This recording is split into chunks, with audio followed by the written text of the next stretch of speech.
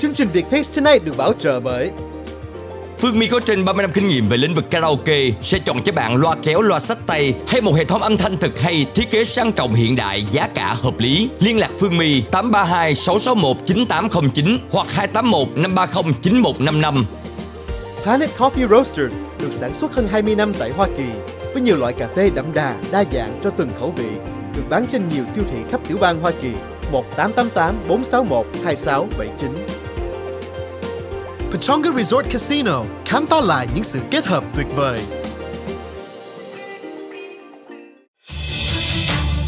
Đây là chương trình Việt Face Tonight với anh Dũng và Thanh Thảo.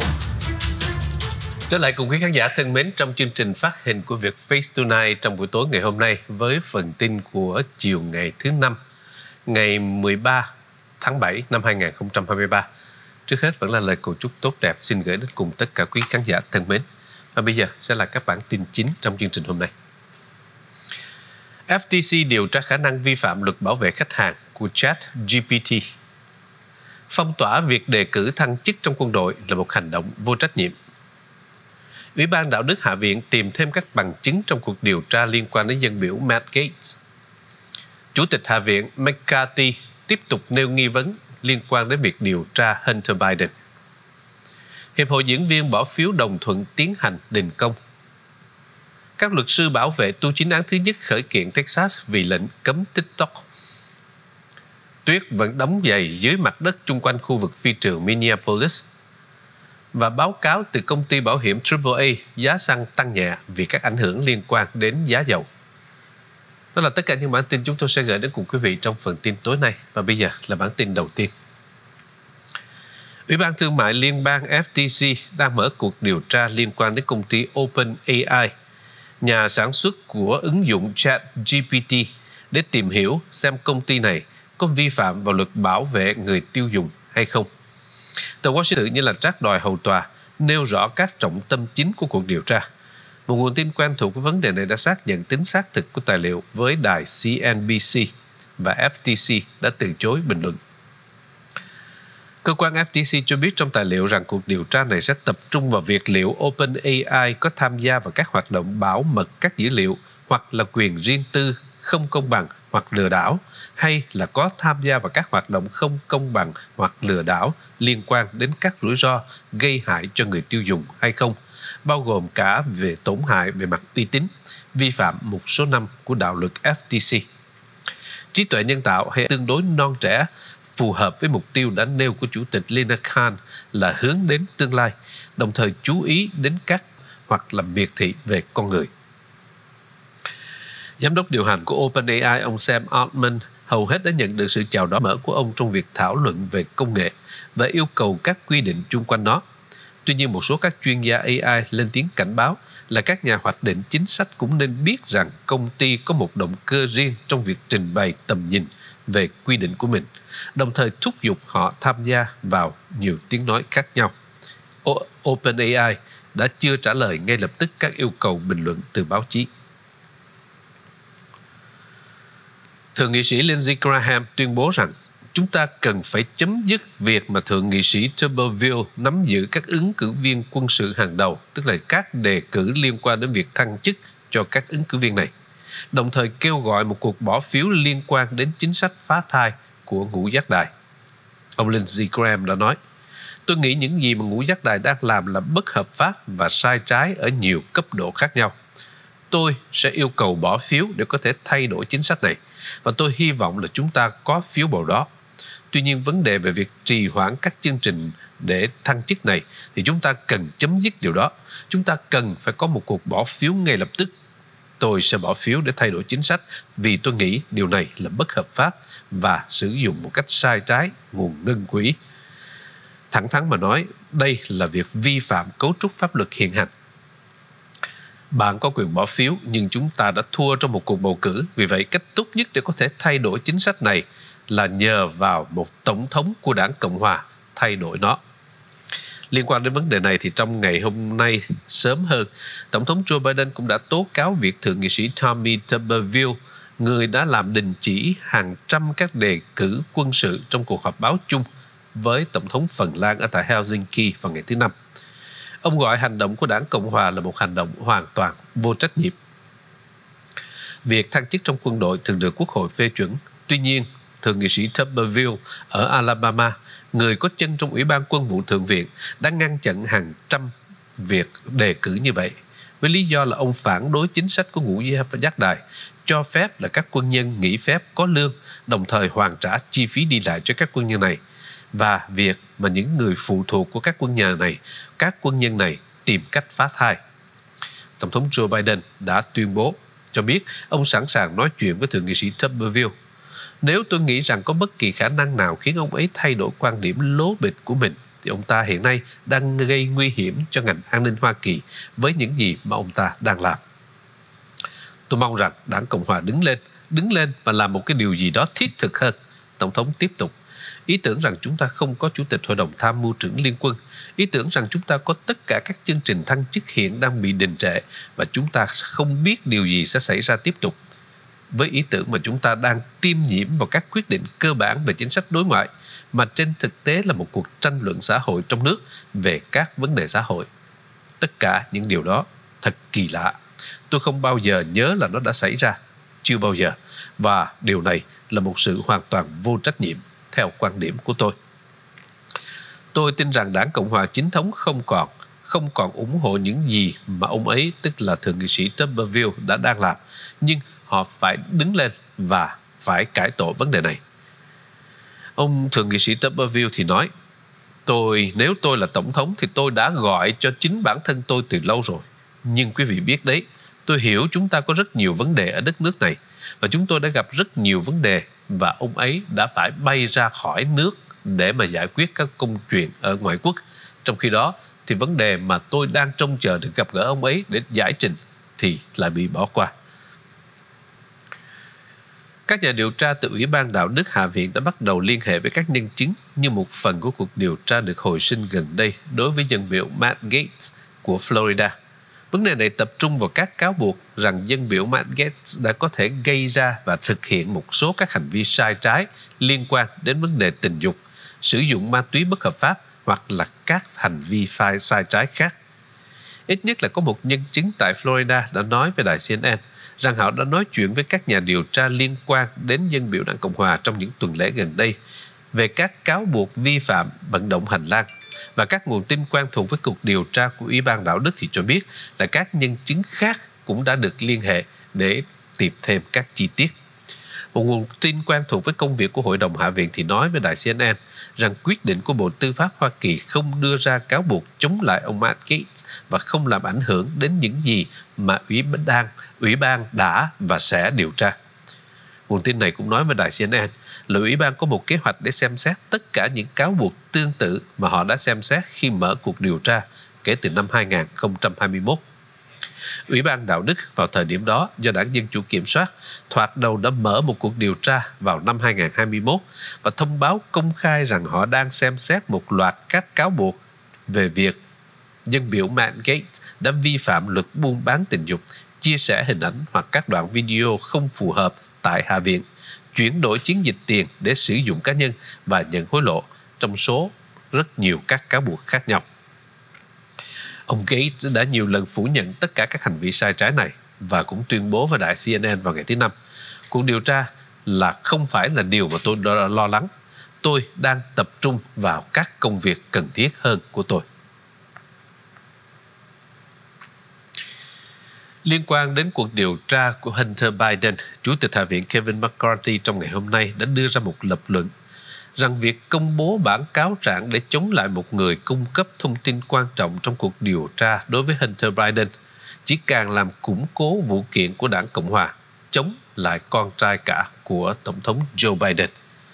Các đảng viên đảng Dân Chủ đã cần đảng Cộng Hòa về việc buộc tội Gallup với 8 tội danh, bao gồm cả hành động như là một đặc vụ nước ngoài chưa ghi danh của Bắc Kinh, bằng cách cho rằng đảng Cộng Hòa đã bắt một kẻ chạy trốn ra ngoài để tự cứu mình và bằng cách tung ra các cáo buộc hoang đường chống lại gia đình của Tổng thống. Chủ tịch Hạ viện Kevin McCarthy đã tuyên bố với các phóng viên, điều này sẽ không làm suy yếu vụ án đó bởi vì nếu chúng ta ngại suy điều này hơn nữa, thì Bộ Tư pháp cũng đã truy lùng, hiện nay đang tiếp tục truy lùng ông ấy. Hunter Biden đã nhận được nhiều tiền hơn từ cùng một công ty ở ngoại quốc so với người cung cấp thông tin này. Đó là những lời xác quyết của Chủ tịch Hạ viện Kevin McCarthy. Do đó mà việc chính phủ không xem xét đối với tình hình của Hunter Biden sẽ chỉ làm cho vụ việc trở nên càng mạnh mẽ hơn và chúng tôi càng quyết tâm hơn. Khẳng định của ông McCarthy đã lặp lại khẳng định của Chủ tịch Ủy ban Giám sát Hạ viện James Comer, đại diện cho Cộng hòa ở Kentucky, người đã nêu bật các giao dịch của con trai Tổng thống với Tập đoàn Năng lượng Trung Quốc sau khi bản cáo trạng của Love đã được tiết lộ ở khu vực quận phía nam New York vào ngày thứ Hai vừa qua. À, thượng nghị sĩ uh, James, um, chúng tôi xin lỗi, dân biểu James Comer đã nói với Fox News vào buổi tối hôm đó.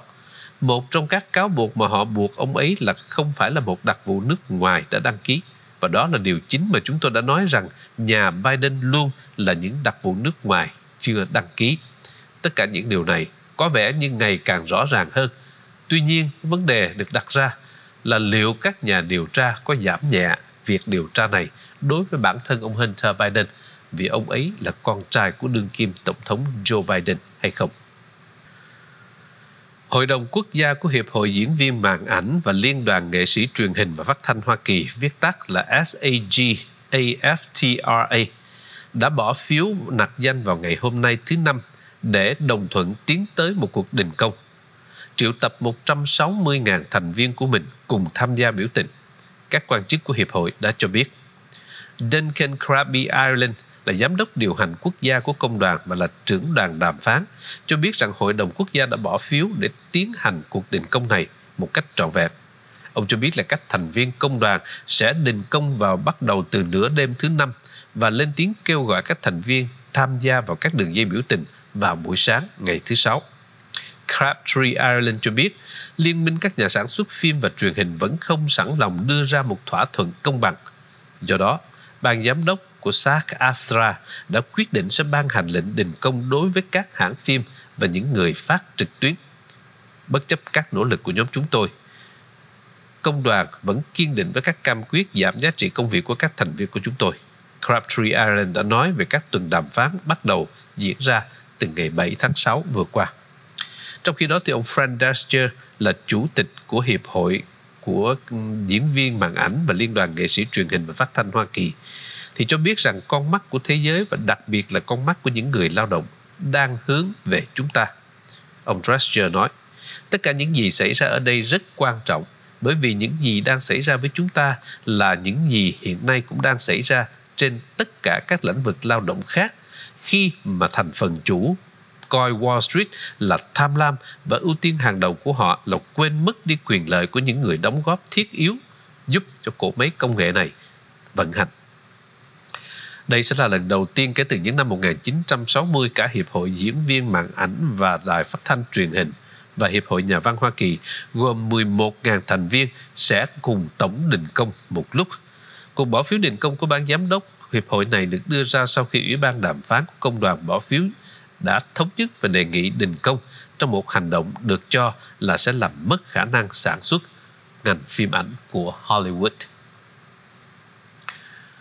Trở sang Texas, thưa quý vị, lệnh cấm sử dụng ứng dụng TikTok đối với một số các thiết bị và các trang mạng công ở tại tiểu bang Texas đã bị một số các luật sư, những người binh vực cho tu chính án thứ nhất lên tiếng phản đối vào ngày hôm nay thứ năm.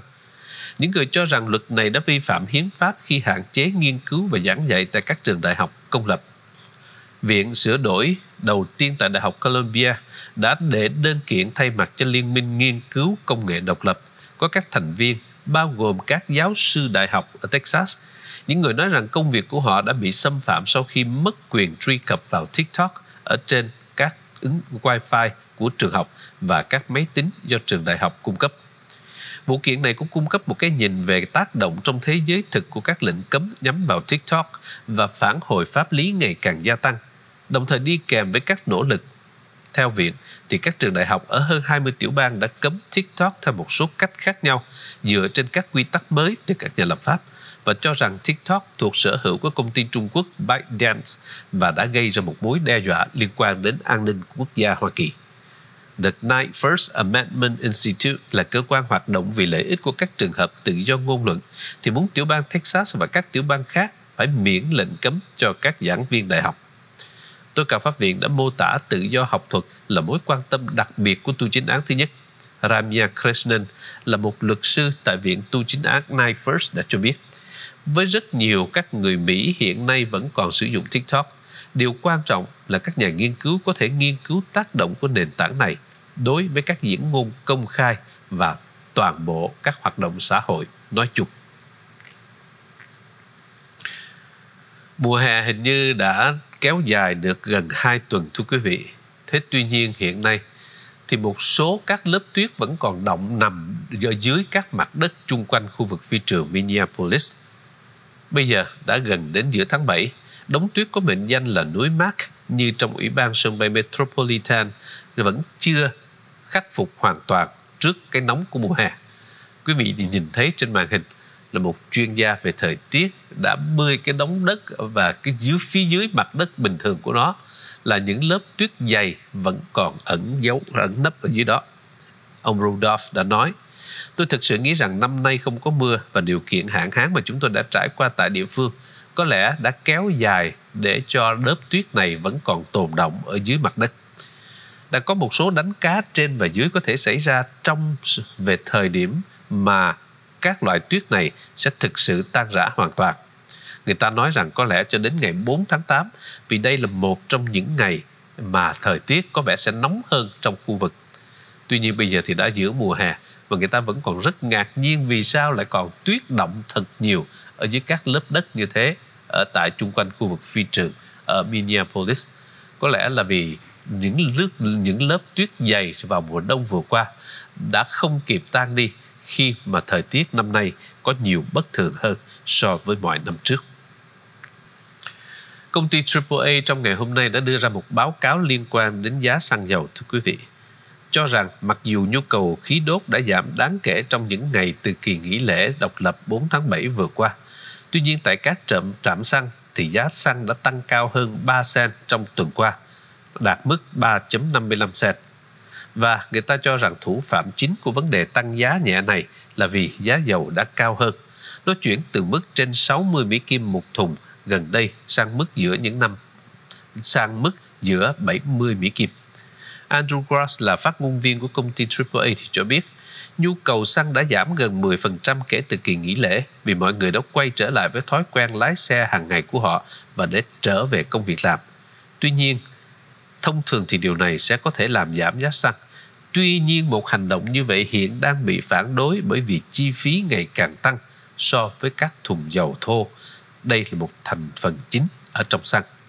Các dữ liệu mới từ cơ quan thông tin năng lượng EIA cho biết rằng nhu cầu khí đốt đã giảm đáng kể từ 9.6 xuống 8.76 triệu thùng một ngày vào tuần trước. Trong khi đó thì tổng dự trữ xăng trong nước không đổi ở mức 219.5 triệu thùng. Và mặc dù nhu cầu khí đốt thấp hơn thường đẩy giá xăng ở, ở các trạm xăng xuống thấp hơn, nhưng giá dầu tăng đã lại đội chúng lên và điều này làm cho người ta đã chứng kiến là giá xăng trong tuần lễ vừa qua đã tăng lên khoảng 3 cent cho một gallon. Mức trung bình toàn quốc hiện nay là 3.55 Mỹ Kim cao hơn 3 cent so với một tháng trước đó, nhưng thấp hơn 1.08 Mỹ Kim so với cùng giá năm trước. Mức trung bình toàn quốc hiện nay là 3.55 và kể từ thứ năm tuần trước thì 10 tiểu bang đã chứng kiến những thay đổi lớn nhất về mức trung bình của họ, bao gồm Florida, Indiana, Colorado, North Carolina, Georgia, Texas, California, Maryland, Utah và Arizona. Với bản tin vừa rồi, chúng tôi xin kết thúc phần tin buổi tối ngày hôm nay của việc Face Tonight. Xin trân trọng cảm ơn sự chú ý theo dõi của quý vị và một buổi tối an lành sẽ đến với tất cả chúng ta. Xin hẹn gặp lại trong bản tin này tối mai.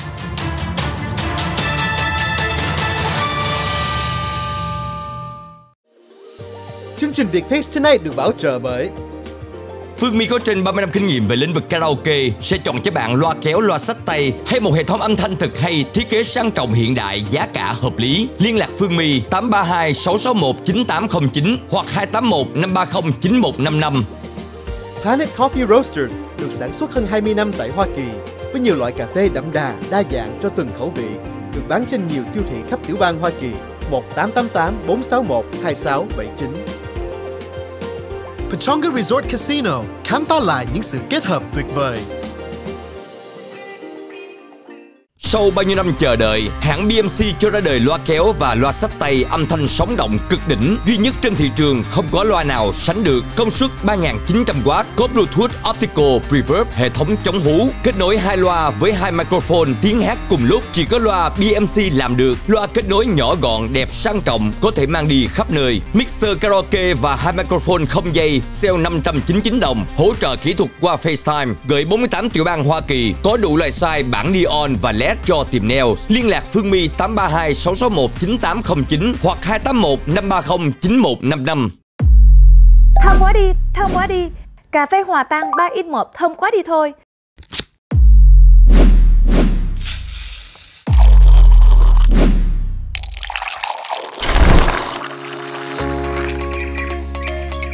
Chất đậm đà, rất béo, đúng là ly cà phê có chất lượng. Có thể dùng cho cà phê sữa nóng hay sữa đá đều ngon. Hãy đến với Planet Coffee Roaster.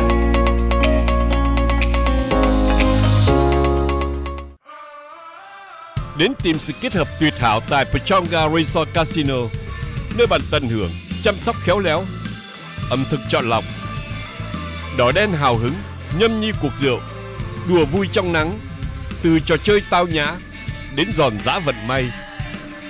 Tùy tâm tùy ý với niềm vui, bước vào mộng để gọi mời thực tại hoan lạc.